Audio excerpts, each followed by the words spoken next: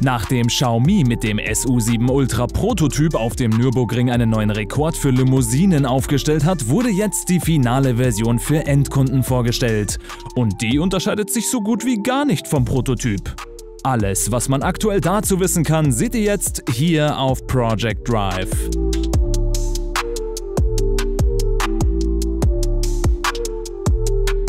Endlich hat Xiaomi die Serienversion seines mit Spannung erwarteten SU7 Ultra vorgestellt.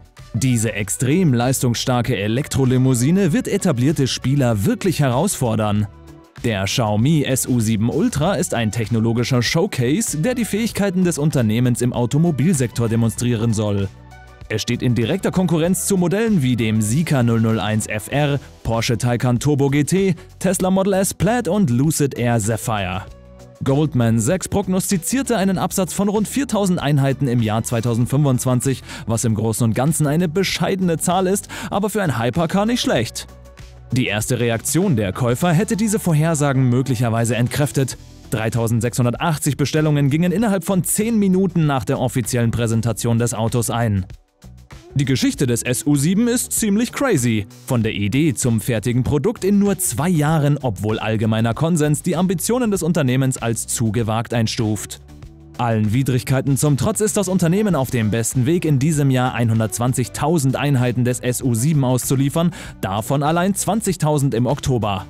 Und nun hat der Ultra den Nürburgring erobert und die gesamte Automobilwelt aufhorchen lassen. Denn das Ultra-Prototyp-Modell hat eine Runde in 6 Minuten 46 und 874 Tausendstel Minuten absolviert und somit einen neuen Rekord für Viertürer aufgestellt. Der SU7 Ultra baut auf dem Design der Standard SU7 Limousine auf, fügt jedoch einige sportliche Akzente hinzu. Ein großer Heckspoiler, eine breitere Karosserie und aggressive Stoßfänger verleihen ihm ein unverwechselbares und aggressiveres Aussehen. Diese aerodynamischen Verbesserungen tragen zu einem erheblichen zusätzlichen Abtrieb von 265 kg bei und halten das Auto auch bei hohen Geschwindigkeiten auf der Straße. Der SU7 Ultra fährt auf 21 Zoll Rädern mit Pirelli P0 5 Reifen. Innen ist der SU7 Ultra eine Mischung aus Luxus und Sportlichkeit. Alcantara-Leder bedeckt die Sitze, Türverkleidungen und andere Innenelemente, während Carbonfaser die Türstufen, den Mitteltunnel und den Rückspiegel ziert und für einen Hauch von Hightech-Flair sorgt. Sportliche Sitze mit gelben Sicherheitsgurten und ein Alcantara-bezogenes Lenkrad runden die Cockpit-Highlights ab. Der Xiaomi SU7 Ultra ist 5,26 Meter lang, 2,06 Meter breit, 1,40 Meter hoch bei einem Radstand von 3 Meter.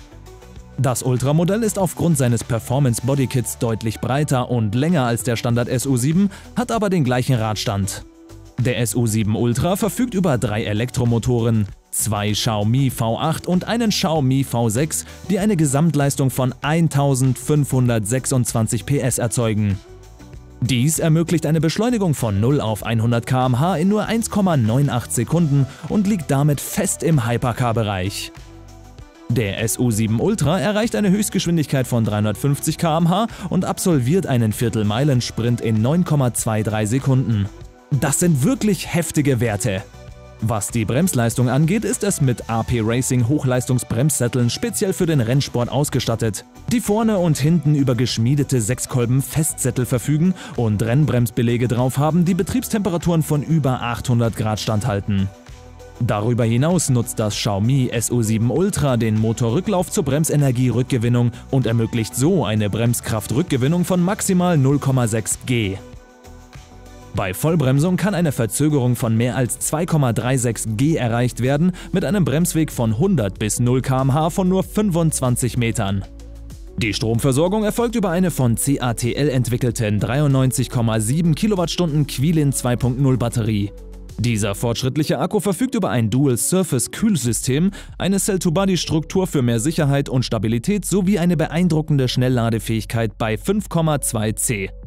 So kann man den Akku in nur 11 Minuten von 10 auf 80% aufladen. Der Xiaomi SU7 Ultra kostet in China umgerechnet 102.900 Euro.